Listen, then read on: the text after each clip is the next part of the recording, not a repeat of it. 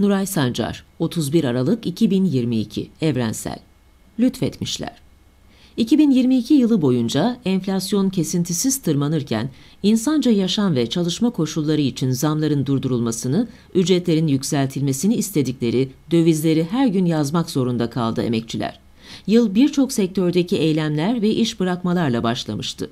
Sonraki irili ufaklı grev ve direnişlerde talep yine aynıydı. Bazı eylemler başarılı oldu, bazıları iktidarın güvenlik parantezine girdiği için müdahaleye maruz kaldı. Bu tabloya bir de 2022'nin başlıca gündeminin seçim olduğunu eklemek gerekiyor. Çünkü her şeyin, her kazanımın ve her kısıtlamanın seçime yazıldığı bir yıldı geçtiğimiz.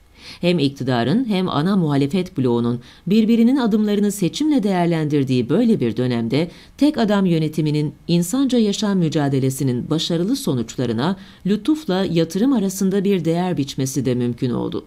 Kazanımların bu gerilimli zamanın gelip geçici ve şartlı sonucu olabileceği not düşülüyordu böylelikle. Yani bir tür alışveriş. Yılın sonlarına doğru 1,5 milyar liralık kısmı Cengiz Kolin ortaklığına ait Akdeniz EDAŞ'a olmak üzere şirketlere 60 milyar liralık yatırım teşvik belgesi veren Sanayi Bakanlığı halkın kesesinden böyle har vurup harman savururken açlık sınırı civarında belirlenen asgari ücretin devletin büyük fedakarlığı olarak lanse edilmesi gayet pişkincedir. Asgari ücretin açıklandığı sırada işçi temsilcisinin bulunmadığı masada sadece devlet ve işveren temsilcilerinin olması da bunun altını çizdi. Yine ne verilmişse tek adam vermiş oluyor. Fakir fukaraya vermek sevaptır, bereket getirir diyen Nurettin Nebati'yi Maliye Bakanı olarak istihdam eden tek adam yönetiminin kapitalist uyanıklığı, işçinin hakkını bile yasadan çıkararak kesintili, kalıcı ve bağlayıcı olmayan bir keyfiyet alemine sokuyor. Asgari ücretin bir devlet hizmeti, hatta tek adam lütfu olarak anlaşılması, işvereni işçinin sahibi, işçiyi de sahibinin insafına kalmış köle görmek anlamına geliyor tabii ki. Oysa asgari ücret bir istisnadır ve bu istisna haliyle bir haktır.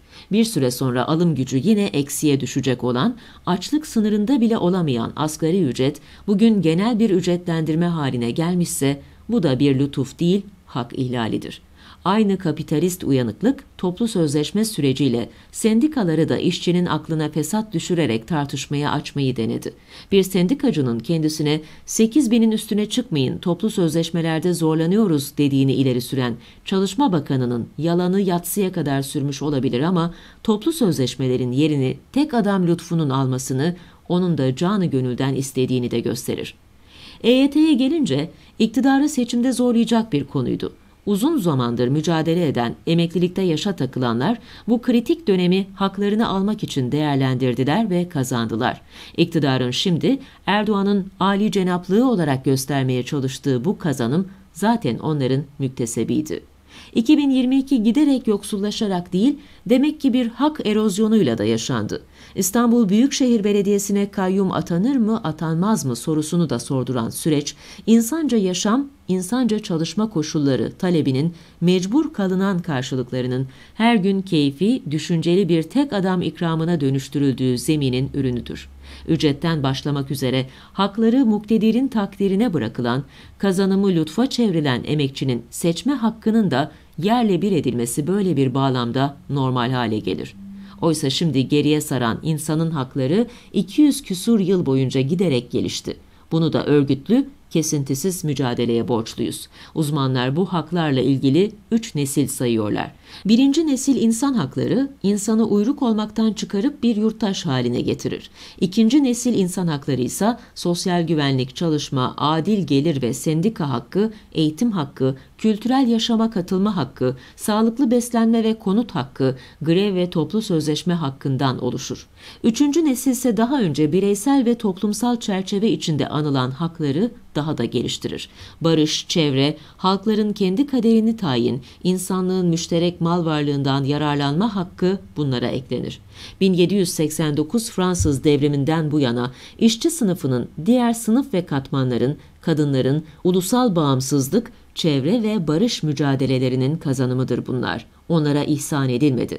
Ancak hakların kağıt üzerinde tanımlanması bunların pratik karşılığı olduğu anlamına gelmez. İşçi sınıfı ve emekçiler her birinin ihlali için tetikte ve örgütlü olmadıkça geri alınmaları kolay oldu. Bugün yaşanan da odur. Toplu sözleşmeyi, sendikaları, asgari ücreti, emeklilik hakkını ustalıklı bir biçimde tartışılır kılan kapitalist fırsatçılık her şeyi kaybetme ihtimali olan bir seçimi bile sınıfının fırsatına çeviriyor. Çünkü sistemde baki olan hükümetler ya da iktidarlar değil sınıflardır. Hakların korunması, genişletilmesi için dayanışma ve örgütlü mücadele koşuldur. Bitirirken mücadeleleri başarılı, kazanımları bol, hakların gasp edilmediği bir yıl olsun 2023. Yeni yılınız kutlu olsun. Nuray Sancar